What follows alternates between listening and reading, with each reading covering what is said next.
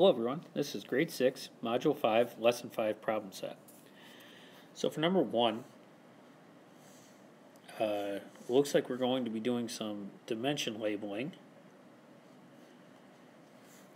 If AB is 20 units, FE is 12 units, AF is 9 units, and DE is 12 units, find the length of the other two sides. Then find the area of the irregular polygon. So I want to label first, and I see AB is 20 units. And I'm going to use U to abbreviate. FE, which is right here to here, is 12. And let's do U. AF is 9. And DE is 12. So now I need DC and BC. So let's kind of take a look at what we have here. Uh, it looks like this FE and DC, if I add 12 to this, I'm going to get 20. So 12 plus what gets me 20? Or we can do 20 minus what? Or 20 minus 12 will get me DC. And that's going to be 8. So DC is 8 units because 12, this line, plus this equals this. So 12 plus 8 will get me the 20. And I'm going to erase that so I have more space. Now I need to find out this. And it looks like if I do 9 12, it's going to equal BC because I can slide this 12 over here and I can line it up right here to make a full straight line. So 9 and 12 is 21 units. So I see my two measurements. I have 8 and 21. Now, um, what we need to do is find the area of these. Uh, and it's going to be the same formula, length times width, and you can break this up any way you want. Uh, I'm going to break it up like this. So I'm going to find the area of this piece and then the area of this piece. So I know the length times width is 20 units times 9 units. 20 here, 9 here. 2 times 9 is 18. And then I'll put in my uh, 0 here for it because it wasn't 2, it was two tens. So units squared, that's this piece. And then my other piece, I'm looking right here, which is 12. And then my new dimension, which is 8. And I'm going to rewrite my formula. Because I want to show which formula I'm using. 12 times 8 is 96 units squared. So that's 96, and then I can just add the 2.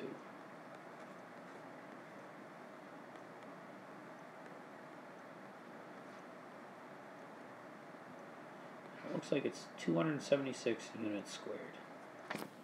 So that's the area of the uh, irregular polygon because I broke it into two regular polygons, two rectangles, and added the two pieces together.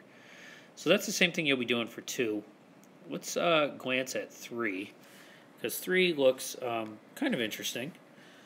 So we have to determine the area of the trapezoid below, and it's not drawn to scale. So I have 22 for all of this. So that's my base. There's my height, and I see it forms a big triangle. Now, 22 covers this whole thing. If they had broken it into two different measurements, I would have had to add the two together, but they didn't. Uh, all they did was give me 22 as the measurement of the whole piece. So I'm going to do 1 half base times height, and I see my base is 22 meters. And my height is right here, it's the 18. So I have one half, and I'm going to do my 22 times 18 off to the side. So 176 for my top part, for my first partial product. 220 for my second. And it looks like it's 396. 396 meters squared because I did meters times meters. Now I got to take half of that. So I know taking half is dividing by 2.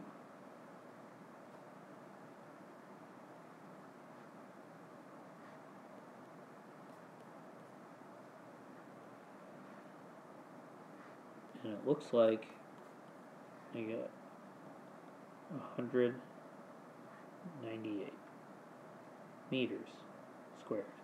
So that's my first, the one in purple. Now I'm left with this. And this is a tough one. I see my base is given to me right there of 3, but what's the height? Well, it's the measurement from the base to the top part here, and it goes all the way up to this, so really, here's the height as well. Because if I take that and slide it over, it's going to line up with this, which would be my height. So I have 3 and 18. So I'm going to do 1 half base times height again. And I have 1 half, my base is 3, and my height is 18. So 3 times 18, um, it's going to get me 54 meters squared because meters times meters, and then half that. And I know half of 50 is 25, and half of 4 is 2. So 25 and 2 is 27 meters squared. And if that didn't quite make sense to you on how I found half of 54, show it off to the side. You'll never have an issue if you show the work off to the side. So that's where I get my 27 from. So now, uh, I want to find the area of this. I have my two pieces. I can just add those two together. So I have 198, and they're both meters squared. So I know I can combine those. 7 plus 8 is 15. Bring it up. And I get 9 plus 1 plus 2 is 12. So I'll carry another. And I get 225 meters squared.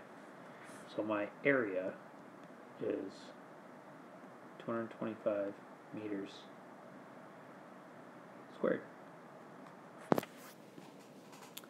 Let's take a quick look at page 2. Now, with this, we have to determine the area of the shaded isosceles trapezoid below.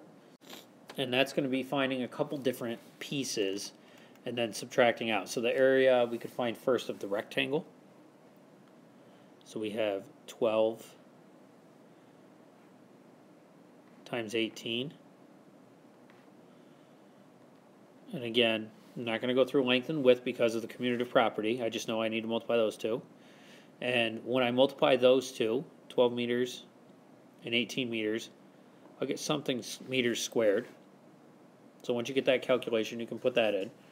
And then I need to find area of triangles 1 and 2. And I see that they're going to be the same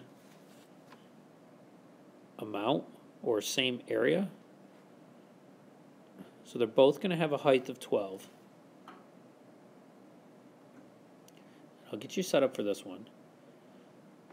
So 1 half, uh, the height I know is 12.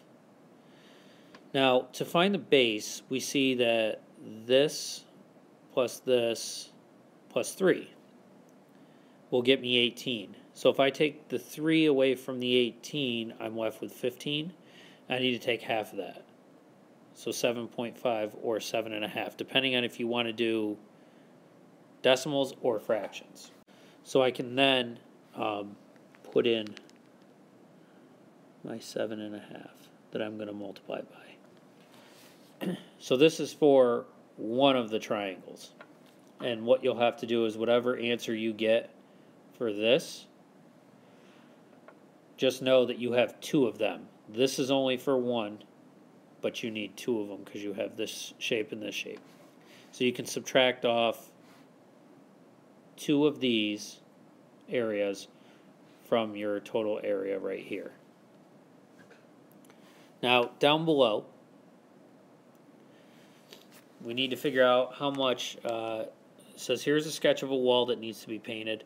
The windows and the door will not be painted. Calculate the area of the wall that will be painted. Uh, so for part A, the first thing you want to do is find the area of the whole thing.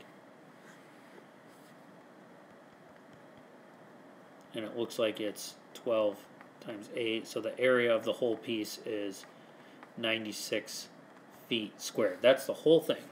Now we want to substitute or subtract out the window, this window, this window,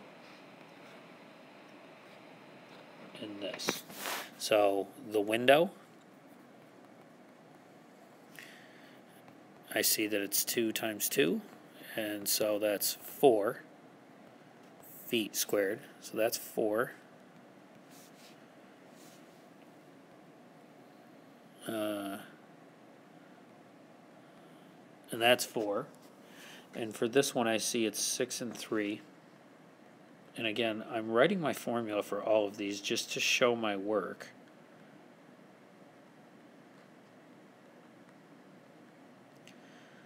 And I have 18 feet squared. So now I can take my 96 feet squared and I'll subtract off 4, 4, and 18. And if I add those up, I know 4 and 4 is 8, 18 plus 8 is 26. And I'm subtracting that because I don't want to paint the door and the windows. So I'm left with 70 feet squared. So that's how much area needs to be painted. Part B says if a quart of extra thick gooey sparkle paint covers 30 feet squared, how many quarts must be purchased for the paint job? So one quart equals 30 feet squared. I know one quart If I use one quart on that 70, I'm going to be left with 40. So two quarts is going to cover 60 because I just doubled it. If I subtract another 30, I'm left with 10 feet squared left that I still have to cover. I can't purchase uh, pints or cups or ounces of paint. I can only purchase this in quarts, as it says. So if I get three quarts, that'll be 90. Um, and I know that 60 is not going to cover enough of 70, but 90 is going to be too much. I still have to purchase the three quarts because we can't purchase anything less than a quart in terms of this.